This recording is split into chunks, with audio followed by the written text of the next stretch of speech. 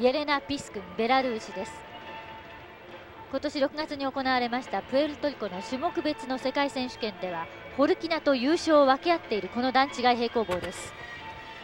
この選手もホップターンが入ってますから比べてみてください。ここですね。あやはり先ほどの選手よりもずいぶん飛びに余裕がありますよね。わあそして高いデルチェフ。あちょっと今倒立が向こう側に行ってしまいましたがうまくリカバーしました。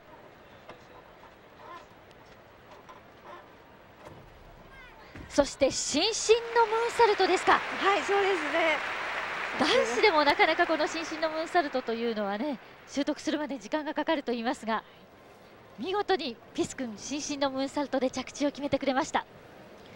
さあしかしあの真ん中でのミスがどう捉えられますでしょうか、はい、この倒立でちょっと足がしかしうまく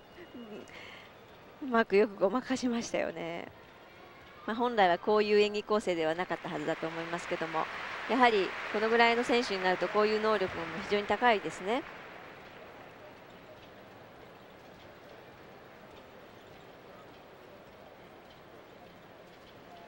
伸身から屈伸の姿勢に入るような形での、まあ、本来ですと伸身で最後まで行わなくてはいけないんですけれどこれはまあ、回転が不足してどうしても足が先に降りてきてしまうという形なんですね。まあ、これはちょっと技術的な欠点は減点されますね。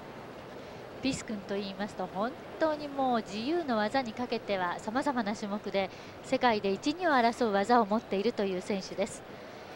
日本でも本当に隠れたファンの多い選手です。エレナ・ピス君18歳